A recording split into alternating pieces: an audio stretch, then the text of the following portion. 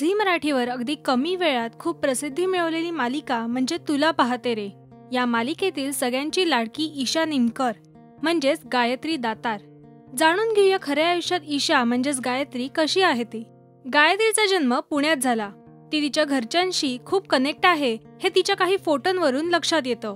तिने तिचे लहानपणीचे काही फोटो सोशल मीडियावर शेअर केले.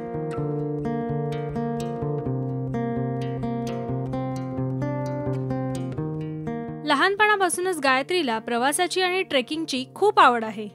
लेह लडाखची भटकंती मनालीमध्ये ट्रेकिंग कोयना नदीत रिव्हर राफ्टिंग असे बरेच फोटो गायत्रीने सोशल मीडियावर शेअर केलेत.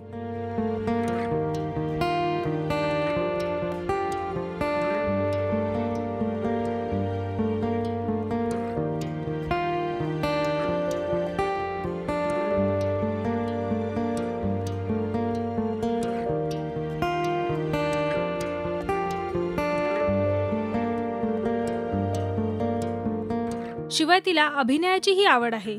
त्यामुळेच लहानपणी शाळेत असताना एका नाटकात केलेल्या अभिनयासाठी तिला बक्षीसही मिळालं होतं.